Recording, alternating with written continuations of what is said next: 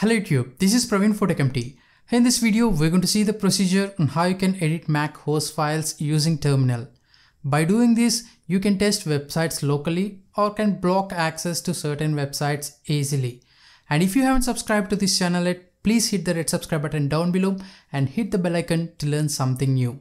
So without any further ado, let's get started. Getting started, you need to have the administrator account password which you use to log into the Mac machine. To edit the Mac's host file, open terminal and run the following command sudo space nano space slash etc slash host. Here enter the password of your Mac machine to edit your Mac's host file.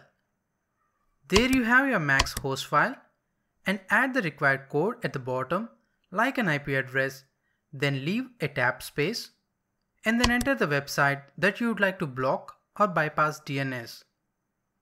To save the file, press Ctrl plus X, then enter the letter Y and press enter. You now added the required code to the Mac's host file. To take the changes into effect, you have to clear the DNS cache. To do that, run the following command sudo space kill all space hup space mdns responder followed by the return key or enter. This will clear your Mac's DNS cache and prevent any clashes between DNS and the host file.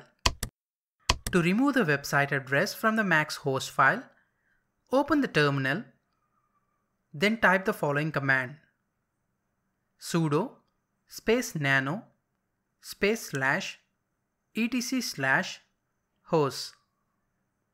Enter the administrator password, then remove the address that you would like to and then save the file by typing Ctrl plus X, then Y and press enter. Finally, you have to clear the DNS by typing sudo space kill all space hup space mdns responder followed by the return key or enter. That's it for this quick video. I hope you find this video useful. If you do, please hit the like button and consider sharing this video with your friends. Also, don't forget to subscribe to this channel for more awesome videos like these. Your contribution is more to us.